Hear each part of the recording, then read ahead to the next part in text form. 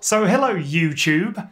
Um, I have got a PhD in chemistry, and uh, it's been a while actually since I graduated. I graduated in 2011, I think. There it is, it doesn't even say the date on it. But I graduated in about 2011, and uh, it was a really fantastic time. I want to let you know that I actually graduated with a PhD from an Australian university. Um, Australia, at the time when I was doing my PhD, wasn't as intense as the stuff that I saw during my postdoc positions um, after my PhD. And there wasn't that same level of urgency and push and competitiveness. Um, but that's what I want to talk about today. These are the five things that no one tells you about when you start a PhD. If you're new to this channel and this is the first video you saw, remember to subscribe to the channel and hit that bell notification because I'm going to be putting out videos about PhD, about startup land, about content creation, everything that I've learned over the past 10 years and I'd love for you to consume all of it. All right, let's get on with the five things that I wish someone had told me before I started a PhD. So the first thing is, and probably it's the most important, is that your supervisor will determine how nice your PhD uh, time is.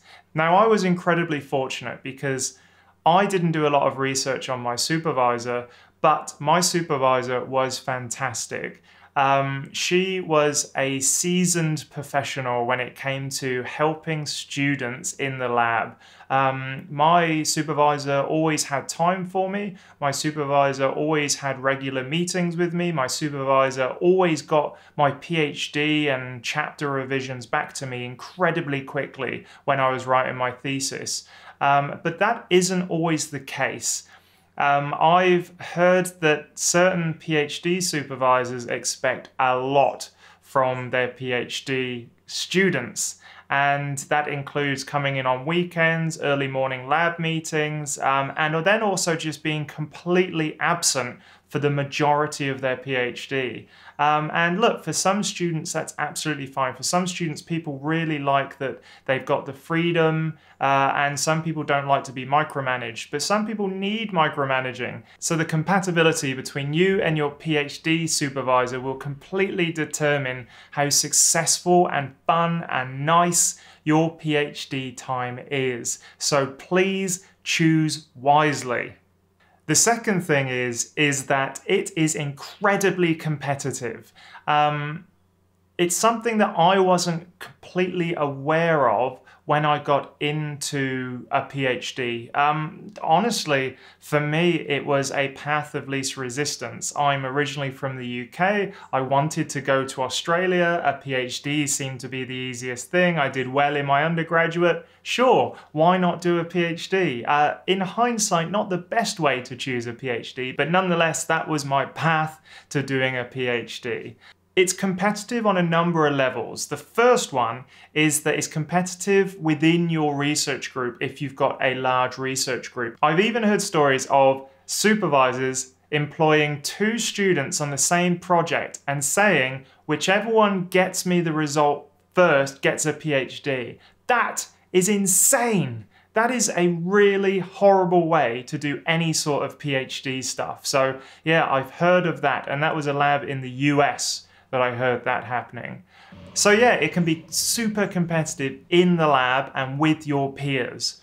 Um, there's always this thing about, you know, out competing each other in terms of amount of time that you've been at the bench, the amount of time you spend in the lab. So sometimes it's expected that you spend your life in the lab until you get your PhD. That is insane to me. You've got to balance work life. But uh, yeah, some supervisors expect that you're there all the time and also it's competitive uh, outside. So uh, the academic system rewards people for producing peer-reviewed papers, and that relates to your H-index. And H-index is the number of peer-reviewed papers you have with that number of citations. So my H-index at the moment is 11, which means even though I've got 14 or 15 papers, 11 of them have over 11 cites.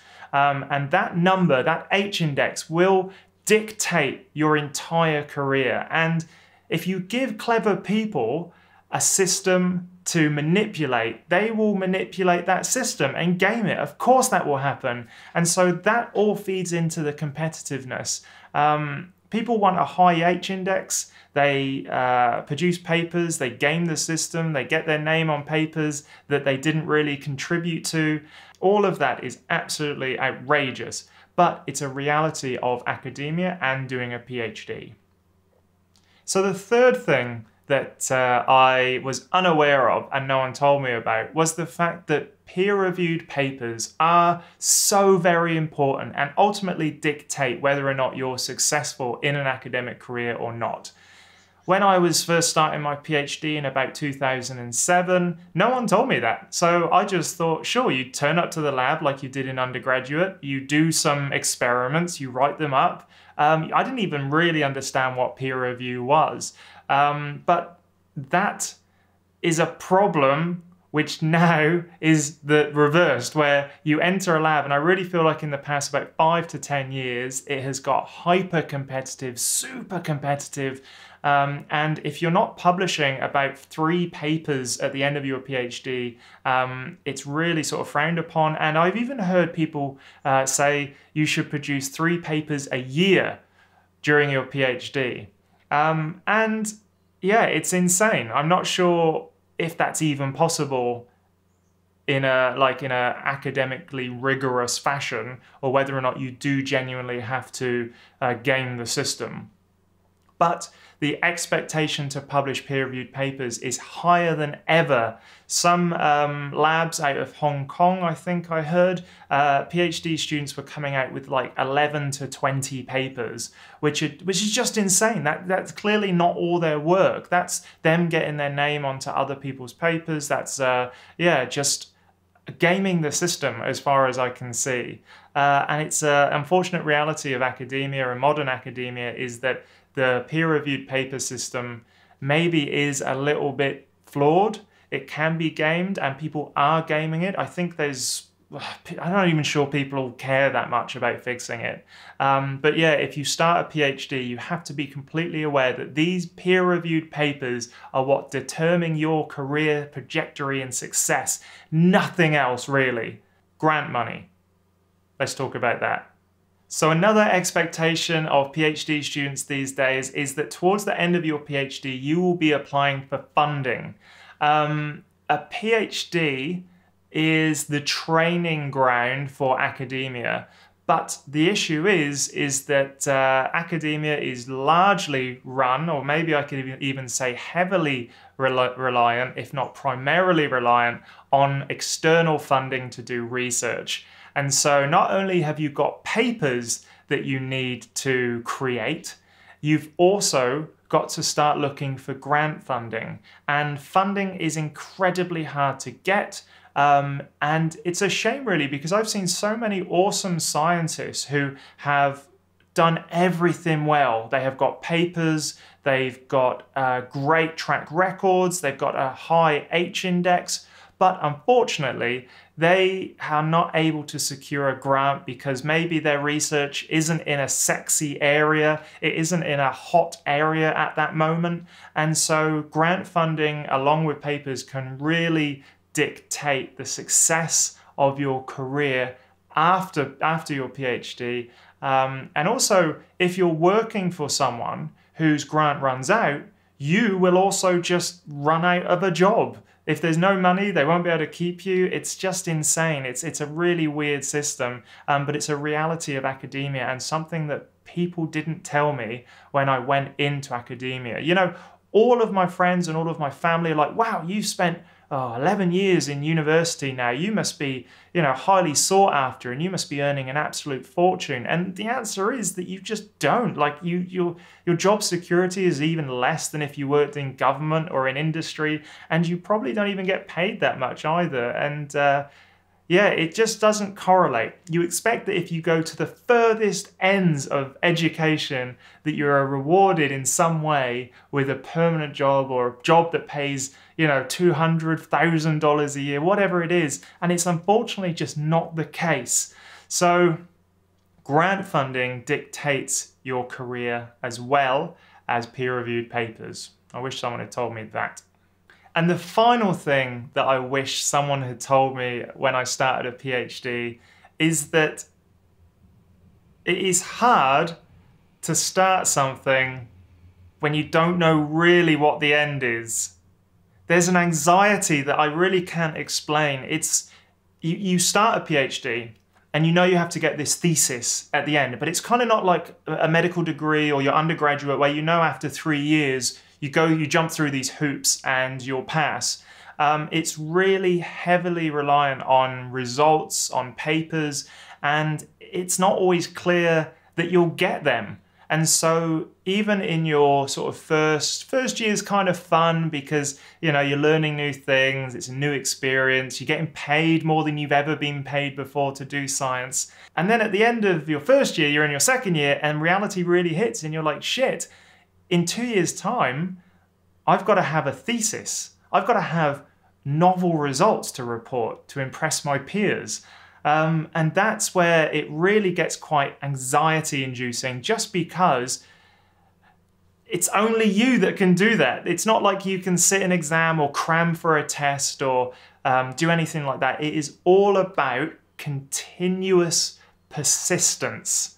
It's about turning up every week, every day, and adding a graph. And that was part of my uh, strategy in the end was, you know, at the end of this week, I'm going to have another graph that I can talk about. Or at the end of this week, I'm going to have synthesized this thing and have it analyzed. Um, that's the only way it will work. But there's lots of tiny steps to get there.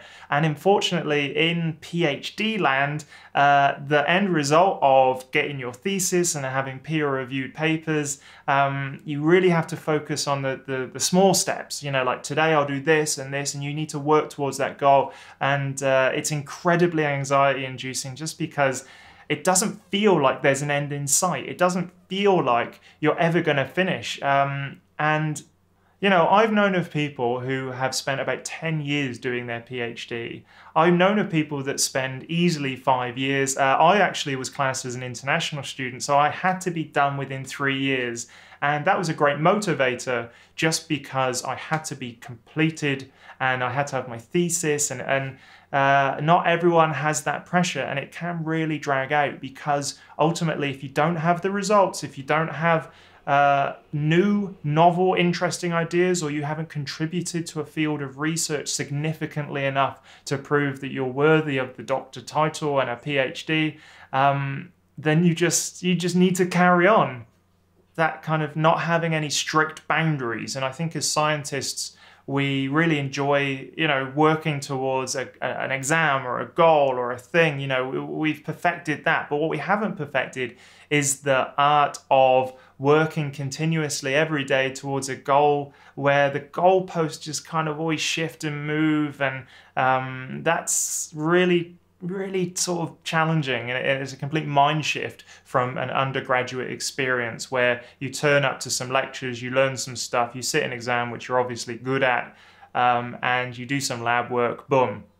This is completely new. This is so, so new, such a new way of doing things. You're no, and also no one really cares about what you're up to in the lab necessarily. So you have to drive your own experience. You have to turn up every day. You have to be uh, persistent. You have to have really great sort of project management skills. And if you don't have them at the beginning, you're definitely going to have them at the end of three years. And there's so much to learn and so much internal motivation you need to have that uh, yeah that is something that was so different to anything i've experienced before and I, even after sort of three to four years you're not guaranteed to have those results that show you have contributed to a field significantly uh, and that can be incredibly anxiety inducing.